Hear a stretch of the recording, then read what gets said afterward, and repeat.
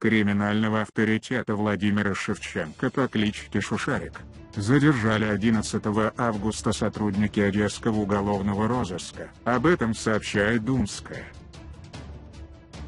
По этой информации, мужчина, являющийся представителем известного грузинского вора в законе Минди Гарадзе по прозвищу Лавас Аглы Батумский, пытался совершить карманную кражу.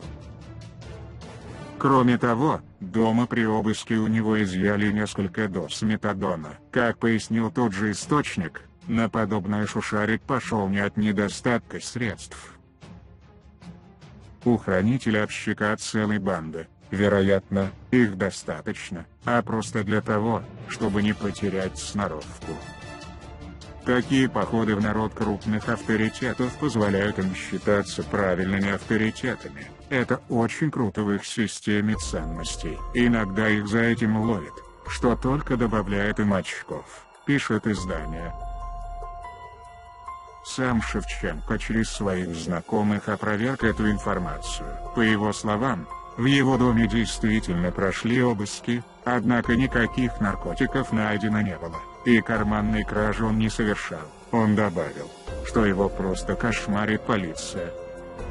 Ранее также поступали сообщения о задержании Шушарика, в частности, весной прошлого года у него обнаружили незарегистрированный травматический пистолет и наркотики.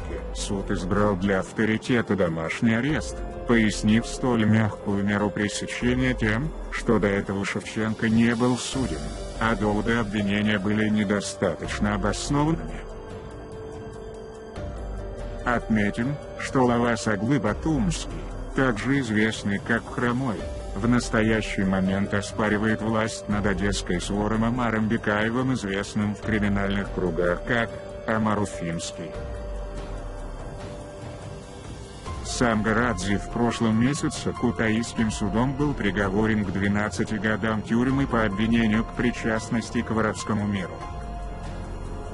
Организации вымогательства группы лиц препятствования журналистской деятельности.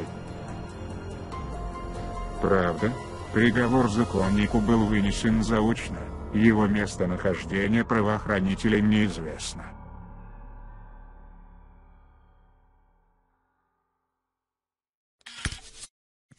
Не забудь подписаться на канал.